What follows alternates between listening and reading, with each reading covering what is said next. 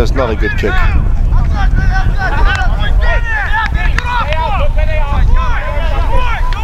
Running. Come on, guys, just get Ah.